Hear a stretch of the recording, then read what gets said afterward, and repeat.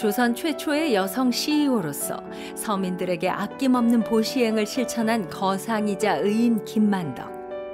어려운 시대 상황에도 당시 여성에게 지워진 한계를 거침없이 뛰어넘었던 의녀 반수 김만덕. 그의 후예들을 만나봅니다.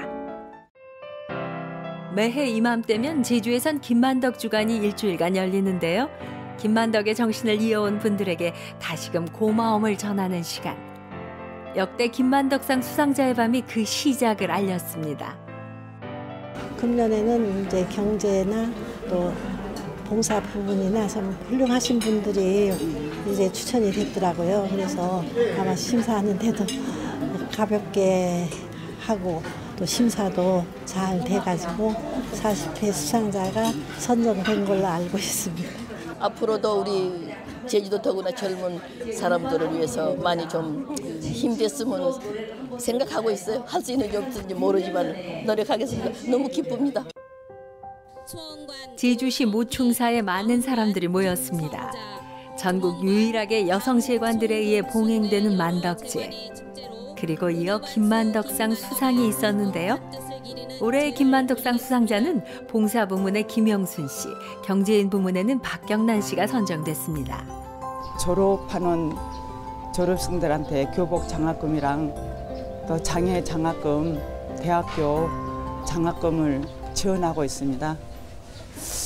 앞으로도 계속 제가 학생들을 위해서 계속 봉사를 할 겁니다.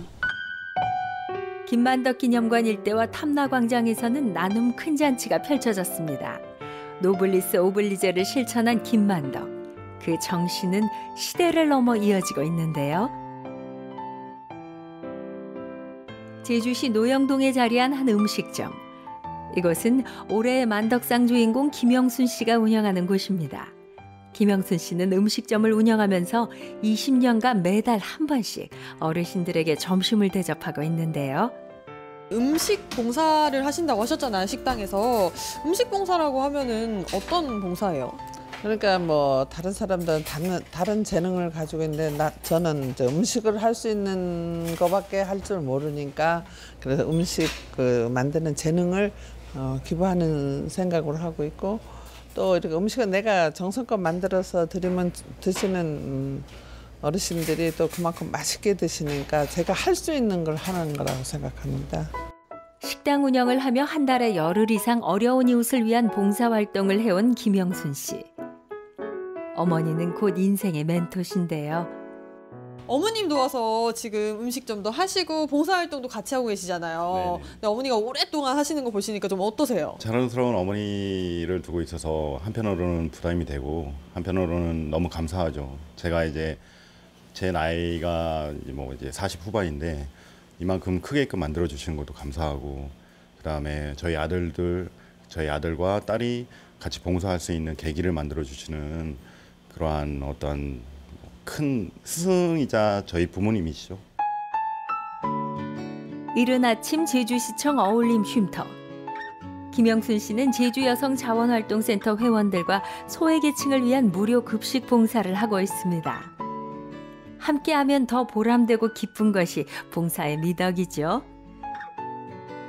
저희들이 정성껏 만든 음식을 어르신들을 모시는 마음에서 이렇게 정성을 갖다 드리면 더 맛있게 드실 것 같아서 그렇게 하고 있습니다. 이제까지 준비해와서 처음부터 이제까지 쭉 그렇게 하고 있습니다. 손도 많이 가고 해야 할 것도 많은 무료 급식 봉사. 쉴 틈 없는 일이지만 표정에선 힘든 기색이라곤 찾아볼 수 없는데요. 저희가 하고 나서 집에 돌아가면 너무 뿌듯하고 행복합니다. 행복을 받고 갑니다. 다음 날 찾은 곳은 제주 시내의 한 노인복지 시설입니다. 양손 가득 싱그러운 꽃 화분을 들고 찾은 이유는 바로 어르신들을 위한 원예 봉사 때문인데요. 안녕하세요. 아, 괜찮으신 데는 없고 곱지? 아 근데 어르신이 더 고와. 오늘만큼은 어르신들의 마음도 꽃처럼 환하게 피어납니다. 그 모습을 보며 행복을 얻는 김영순 씨. 제주 사회복지자원봉사자 명예의 전당 1호 인물 등재와 김만덕상 수상 뒤에는 진심과 봉사의 30년 세월이 녹아 있습니다. 앞으로 이렇게 봉사활동 얼마나 더 하실 계획이세요? 글쎄요, 이제 제 건강이 허락하는 날 좀 나이는 많이 먹었지만 나이가 할 수 있는 데까지 건강만 허락하고 할 수 있는 여건만 허락한다면 언제까지라고 기약할 수가 없습니다. 오래오래 하고 싶습니다. 제주시 오라동에 위치한 문구회사. 이곳 역시 어느 곳보다 시간이 바쁘게 흘러가는 곳인데요. 김만덕상 경제부문 수상자인 박경란 씨가 문구회사를 운영한 지도 어느덧 30년. 빠듯하고 바쁜 와중에도 학생들을 위한 나눔을 실천해 왔습니다. 저희 집에 팔고 있는 문구류를 그렇게 이제 보내주니까 거기 되게 아이들이 너무 좋아한다고 그래서 이제 그런 얘기를 목사님한테 얘기를 들으면서 제가 이제 이 나눔을 더 이제 좀 더 베풀어야 되겠다 이제 생각해서 저는 그냥 얼마 별거 아니다고 해서 줬는데 받는 사람은 그 기쁨을 배로 받는 것 같아서 그게 참 좋아가지고 제가 이제 그 나눔을 더 이제 좀 확대하면서 그렇게 하고 있습니다. 작은 문구사에서 시작해 오늘에 이르기까지 우여곡절도 많던 시간. 박경란 씨는 회사의 성장과 함께 노블리스 오블리제를 실천해 왔는데요. 좀 더 열심히 해서 엄마의 명예 누가 되지 않도록 더 열심히 하고 더 좋은 상 저도 받을 수 있도록 더 열심히 해야겠다는 생각이 들었습니다. 박경란 씨는 회사의 근로 환경 개선과 지역 고용 촉진을 위해서도 노력해 왔습니다. 그래서 유독 장기 근속 근무자가 많은데요. 힘들 때 함께 고민하고 일해준 직원들이 있었기에 꾸준히 나눔을 베풀 수 있었다고 합니다. 평소에 굉장히 좀 뭐랄까 여, 여장부 기질이 굉장히 많으세요. 그래서 어려울 때도 저희가 정말 힘들 해결할 수 없는 것도 대표님한테 일단 말씀하면은 만사 천리로 그냥 다 해결되고 굉장히 적극적이시고 어, 모든 일을 여자답지 않게 여성답지 않게 굉장히 활동적이시고 어, 열심히 하시는 분입니다. 학생들에게 꼭 필요한 문구류 나눔과 각종 지원을 실천하는 박경란 씨. 이번 만덕상 수상은 그에게 어떤 의미일까요?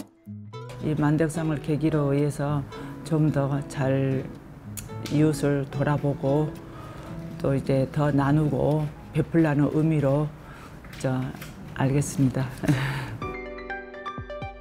제40회 김만덕상 수상자 김영순 박경란 씨. 김만덕의 나눔과 베품, 도전과 개척 정신을 계승하는 그들의 활동과 마음이 앞으로 더 많은 이들과 함께하길 바랍니다.